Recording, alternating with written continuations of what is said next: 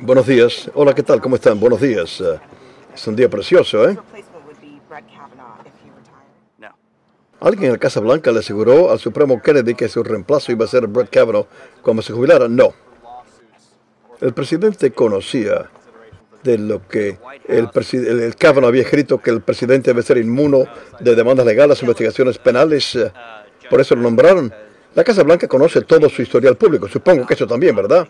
Bueno, mire, el juez Kavanaugh tiene más de 300 opiniones que ha escrito sobre muchos temas legales bastante extensivamente, como dije ahora mismo en CNN. Pero bueno, este fue un factor que se tomó en cuenta.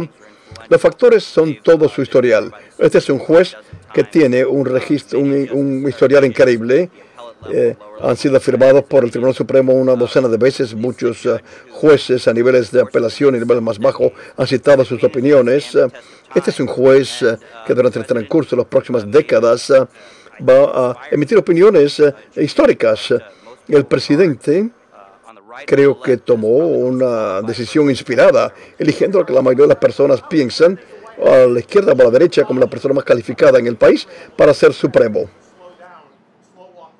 Qué preocupada está la Casa Blanca que eh, el volumen de su historial va a, demorar la aprobación por parte de los demócratas. Los demócratas van a tratar de demorar esta nominación, pero los últimos dos nominados del Tribunal Supremo, este y el último, el último presidente, fueron de nominación a la confirmación en 66 días. Creo que es algo, una medición bastante buena, ¿verdad?